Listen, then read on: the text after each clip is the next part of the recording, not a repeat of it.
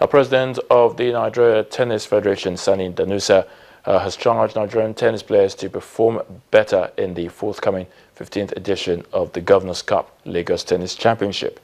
Ndanusa, who is worried over the performance of Nigerian players since inception of the competition, said time has now come for local players to shine like stars and compete with their foreign counterparts. Meanwhile, Chairman Lagos State Sports Council, Deji Tinubu, says that he was looking forward, or he is looking forward to seeing products of the championship ruling the Grand Slam in the nearest future.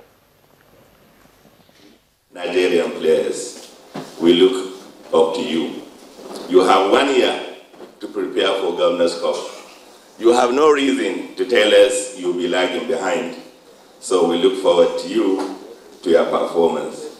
Permit me perhaps to unofficially recognize Angel, the Tennis Federation of Nigeria, are packaging a special package that will send her to Morocco for the International Tennis Federation. It helps create an avenue for young players and then also up-and-coming players um, to get involved in what playing in the tournament, to prepare themselves um, for what playing in the tournament brings, and then of course as the rise up, um, um up on the ladder in, um, in terms of world um, rankings. Uh, eventually, I believe that this competition will produce a Grand Slam champion.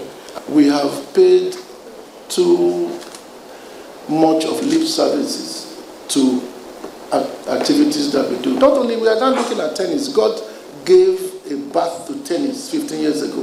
It was a dream I cannot believe in the airport somewhere in 1999. It has been here. I wish there would be more dreamers for other sports.